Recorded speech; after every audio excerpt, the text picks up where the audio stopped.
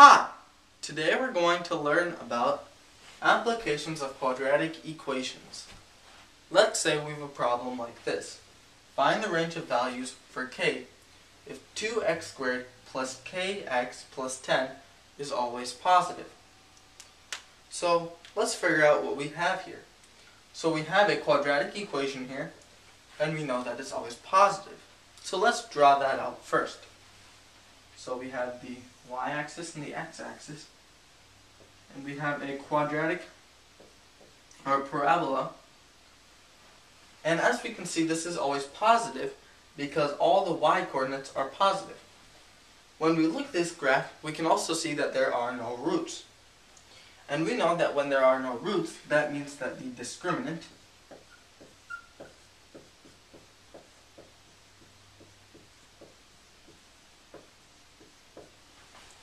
is less than 0.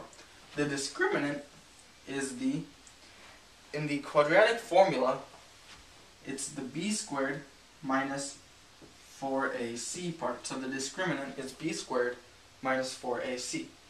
So now let's use this in our problem. So b squared, k squared,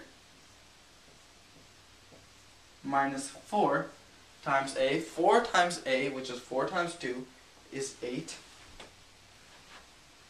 times c, which is 10. 8 times 10 is 80, is less than 0. So, that means that k squared is less than 80. Because to get k squared by itself, we have to add 80 to both sides. So k squared is less than 80. So that means that k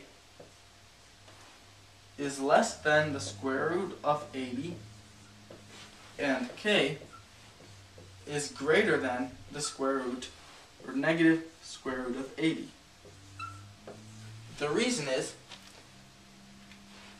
because we when we multiply negative square root of 80 with negative square root of 80, we get 80. That means that to get negative square root of 80, we have to divide 80 by negative square root of 80.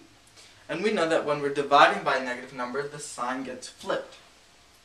So now let's simplify this down. So, k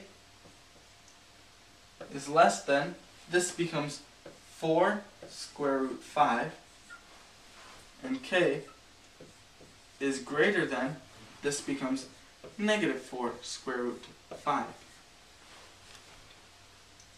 So, the answer to this problem is k is greater than negative 4 square root 5 and k is less than 4 square root 5.